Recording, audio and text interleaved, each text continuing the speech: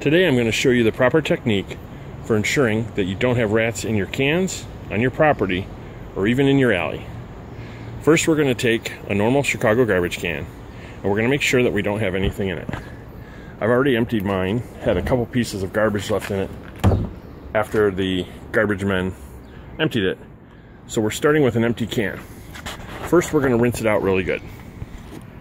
If you don't have a garden hose, borrow one from a neighbor.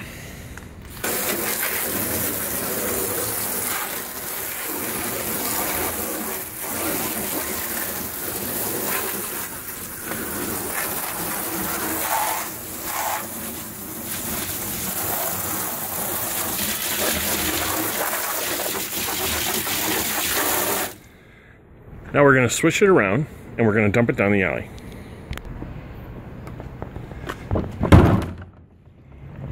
Pick it up by the axle, lift it all the way up, and get all the water out. Make sure to rinse any dirt that you have and wash it down the alley.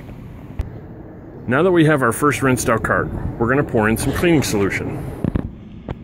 This is the stuff that I prefer to use. Keep a couple bottles of this in the house, and they'll be good for multiple cans throughout the year. Pour some in, and we'll swish it around, and we'll add some water.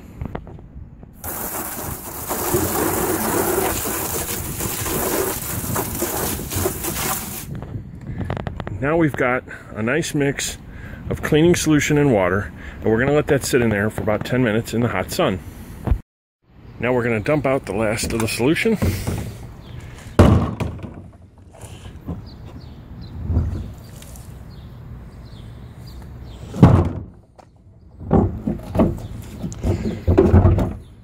Put in a final splash of cleaning solution or bleach and leave it sit. Do this once every six months and you should be rat free.